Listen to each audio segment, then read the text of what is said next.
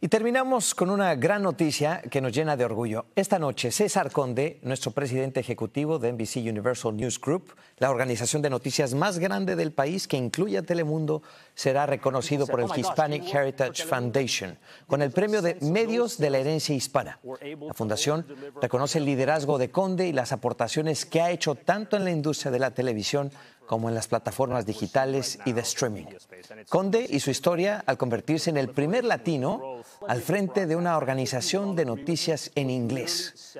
Su contribución, tanto en español como en inglés, destaca la importancia de los latinos en Estados Unidos.